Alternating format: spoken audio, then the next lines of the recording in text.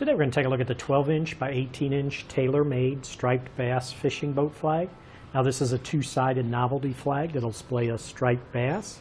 It is a lightweight nylon material, so it easily catches the wind. And if you notice right on the end here, there's two brass grommets on a nice reinforced heading for secure attachment. Now the flagpole and the hardware to attach it is all sold separately on our website. Flag dimensions again is 18 inches long, 12 inches tall, and the grommet hole diameter is 7 16ths of an inch. But that should do it for the review on the 12 inch by 18 inch Taylor Made striped bass fishing boat flag.